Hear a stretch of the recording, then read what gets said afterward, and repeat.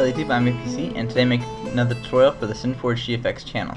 So in today's tutorial, we're going to talk about the recolor tool, which is the tool right here, says recolor, and it has the red circle and the blue circle. So what you can use it for is to change color, one colors from one to another. And one area where it's useful is a scenario like this, where I have this graphic, graphic that I made, and let's say that I want to change this light bluey color to a darker color. So I can use the recolor tool to change it as opposed to using the fill tool to go through in each um, shape and fill it in individually. So if I select the recolor tool, I'll um, it'll when I dra drag the brush over the over the image, it'll change it from one color one color a secondary to my primary or vice versa depending whether left click or right click. So what I'm going to do is I'm going to select the color that I want to change, this light blue color, and then when I want to change it to, make it a primary color and I'm gonna go and make the primary color darker because I want I want it to become darker. So I'm going to set my tolerance to zero. we we'll talk more about tolerance later. But so when I left click now, it'll change the the uh, every color that's this light blue color over to this darker color. So there you have it. It's very easy way to, in this scenario to um change a color.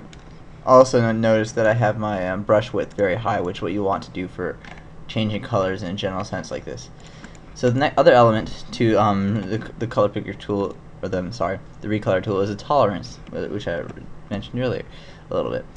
So this is how how specific it's going to be. So here I had, or how general it's going to be when choosing colors.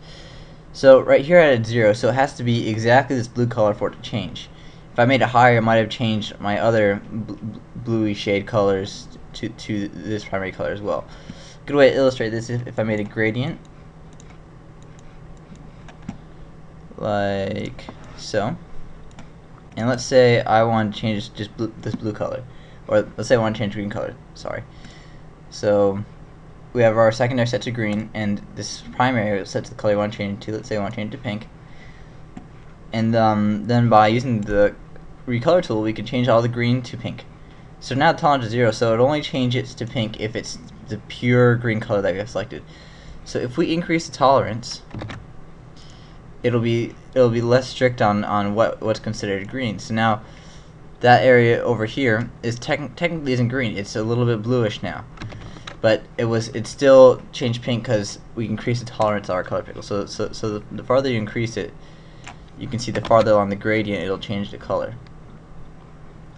So um, one um use one area where you could use this is in photo manipulation. Like right here, I have a picture of Avatar Aang from Avatar Last Airbender. And let's say I want to change his arrow from the, this bluish color over to orange. So I'll go ahead and select his the arrow color as the secondary color, and then I'll make the primary color um, orangey color. Alright, so now I'll go ahead and select the re recolor tool and I will recolor the arrow like so.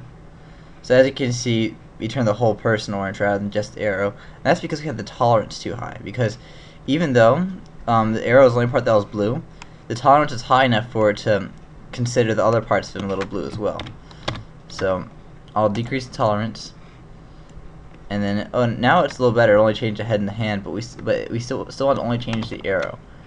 So if I put set down to three or so, you see now it only changed the arrow, but but if you zoom in, you can see that it, the edges of it aren't have didn't change colors even though they're supposed to. So whenever you're um, doing something like this, you got to be um, constantly changing the tolerance, trying to get the right about the right um, tolerance.